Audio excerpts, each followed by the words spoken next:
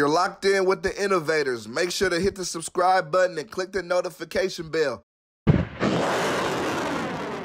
Did like did you ever have a relationship with Mozzy or like any uh, stories about with Mozzy? Like I mean, hey, I mean, at the end of the day, Mozzy one time he threw a he threw a uh, he was he I could say he's real for this. You feel me? He threw a picture up with some fool who who, who ratted on me. You feel me? He, and I got him in paperwork and everything. You feel me? And and bro threw a picture up with them. And he was a and he was a known dude who was doing shows like uh, in Sacramento and everything like that. You feel me? And he didn't know that dude ratted on me or nothing like that. You feel me? But just the dude was known, and he probably boosting Mozzy's head. Hey, bro, this is me. This is what I'm doing. Everything. Mozzy throws a picture up with him. Fool, it hurts me. Fool, it's like a shot to my to my hole, like a hole in my heart. Like what the fuck? This fool just threw a picture up with this fool and shit. So I'm tripping. You feel me? And I'm like, damn, fool. Get on the phone with Mozzy and shit. Like, hey, bro, you just threw a picture up with some fool who ratted on me and shit. You feel me?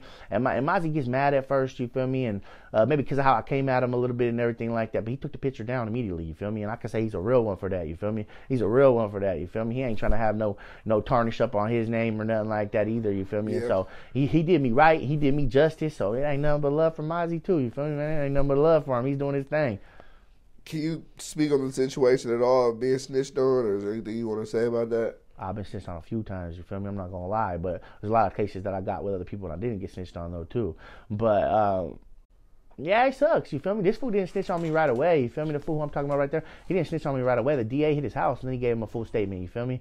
He didn't snitch on me right away. The district attorney hit his house and shit, and then that's when he started talking. Oh, ever since I've been hanging out with him, my life's been going down, and this is what's Damn. going on. Yeah, bro. And I was like, this was a cornball fool. This was a fucking clown. You feel me? That's crazy. Yeah, and there was a fool who I kicked it with like that, like on a, and he's still, you know, pretty known in Sacramento and shit. He's just a rat. You feel me? He just, I'm just like, fuck you. You feel me? I keep it cool, man. I ain't gonna give that fool no exposure and. Yeah, I ain't nah, tripping off it too hard myself. It's been hella years now. You that, know that, that is real shit though. That that Mozzy uh, took the picture. Now. Yeah, yeah, that was real shit. You feel me? And that's nothing but respect too. You feel me? And I, was, I think uh, on the three way it was me, him, and Sally Rue. We're all on the three way. You feel me? Just chopping it up. You feel me? And that fool did it righteous. You feel me? Took the picture down and everything. You feel me? Immediately too.